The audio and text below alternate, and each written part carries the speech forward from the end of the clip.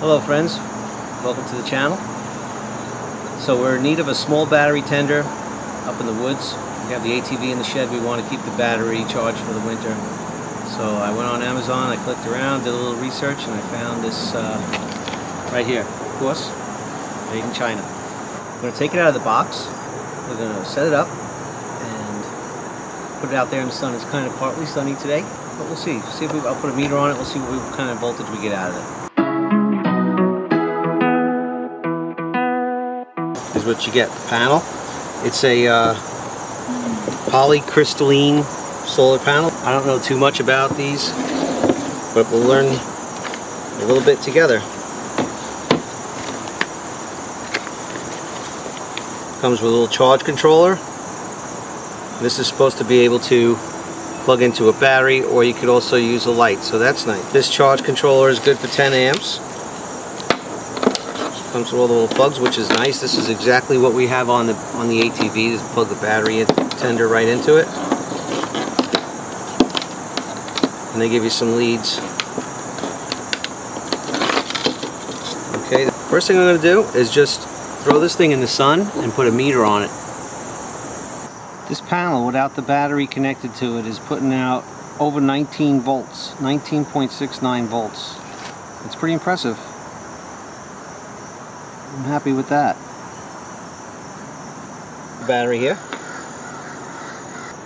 We'll check it with this meter and see where it's at right now before we put the charger on it. It's like 12.42 volts. We might bring this up to the shed. Battery's been sitting in the garage for a long time.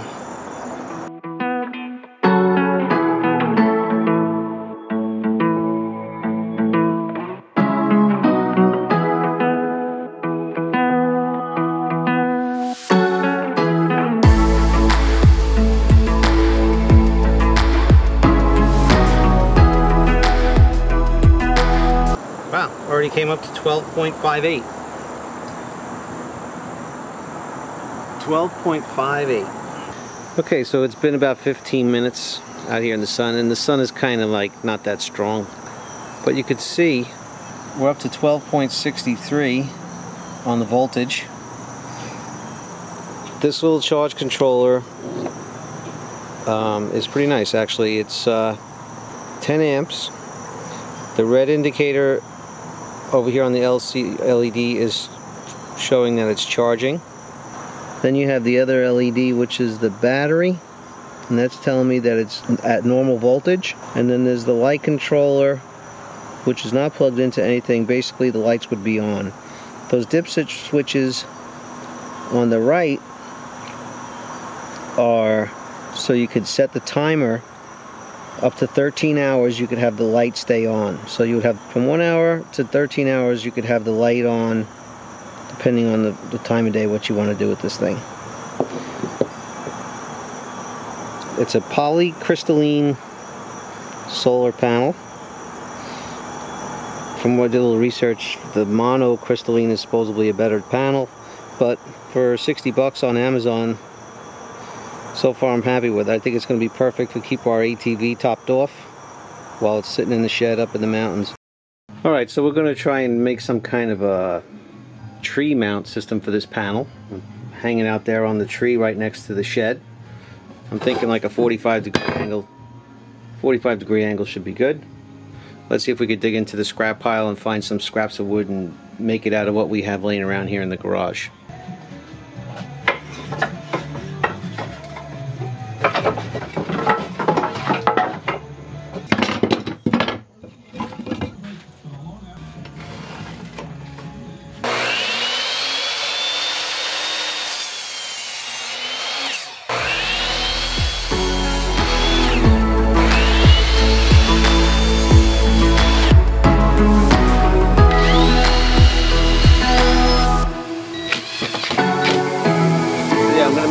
These.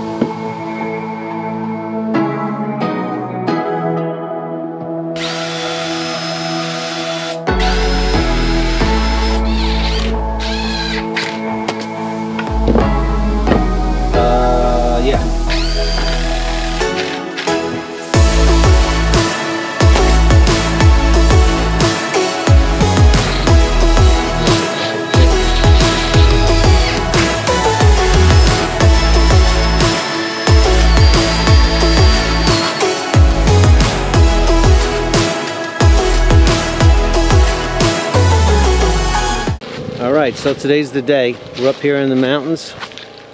I think I have everything I need for the solar setup here on this ATV charger. So let's see if we can't do some kind of a quick, quick and dirty hookup.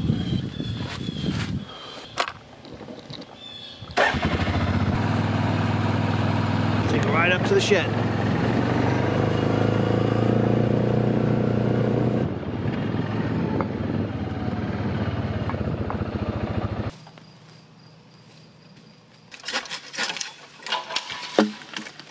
We're gonna put the strap this to the tree with these. Where'd you get those straps? These are left over from all our game camps. Oh, that's useful. See? Yeah. Very cool. What do you think is the best angle of the sun there, honey? Well, you know what? Did I bring my phone up? I did. South facing sun. I'm a tree hugger. Stop. In what direction? Due south? Due south. So we want to turn that. So see how that is? The white is pointing to the south. So Richie's just going to take this up the tree and point it angle it to the south. Okay. Gotta go almost this way. Yeah, that's right. Oh. Ooh. Oh no. There's all our goodies. Oopsies. Well, I'm pretty sure you don't need these directions, right? It'll fit. Okay, good. All right, so I got a little extra wire. We're gonna run this inside the shed. That looks great. Good thing we got all these bugs. Oh my gosh, they're so bad. They're terrible. I gotta drill a hole about that size in the side of my new shed. Mm, ouch.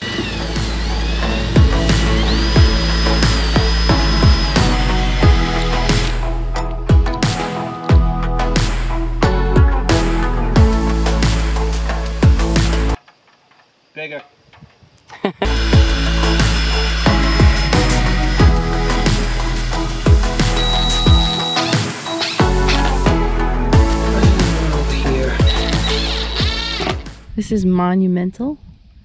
Richie is having a little trouble connecting the solar panel, and he's actually reading the directions. I tested it and it worked in the backyard at my house. Don't ask me why it didn't work the first time. 18, 19.3. 19.3 right now. That's awesome. sun's going down. That's phenomenal, though. Wow. Go ahead. What I was having problems with was when I plugged it in, nothing was happening. You have to wait a little while before it registers on the charge controller. Oh, watch, Oh, watch just- for the light.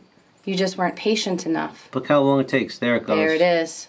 So, how can we know when this battery is fully charged? What is the indication as to when that's That should turn green. that middle light that's not really lit at all right now will turn green. So then Yeah. we'll have one red and two greens Yeah. when this battery is fully charged. Yes.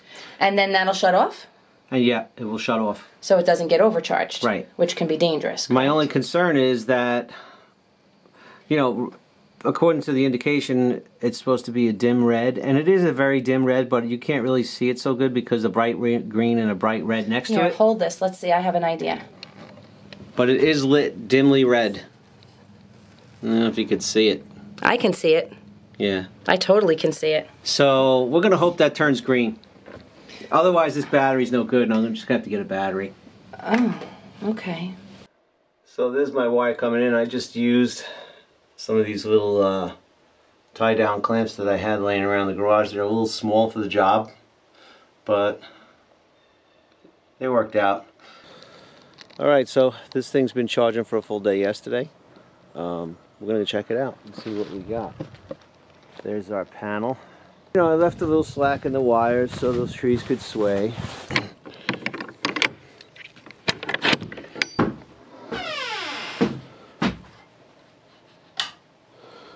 Let's see. Oh, what do you know? We have a green light in the middle. Yesterday it was red, so we know that we got some kind of charge on this battery. Maybe this battery ain't toast just yet. Huh, what's this? Doesn't look get there.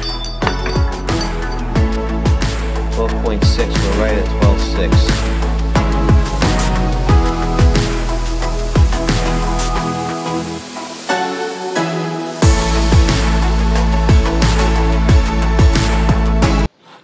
Okay, so that's pretty much a wrap. It's all done. Uh, the solar system is working. I did try and hook it up with the Squire to the ATV, then I realized that the ATV polarity on the plug coming off the battery is reversed opposite than this, so I didn't have time to switch it around. So we're pretty much done here. Thanks for watching. Thanks for subscribing. And you know, oh. Anyway, uh, thanks for watching, thanks for subscribing, and we'll see you on the next video.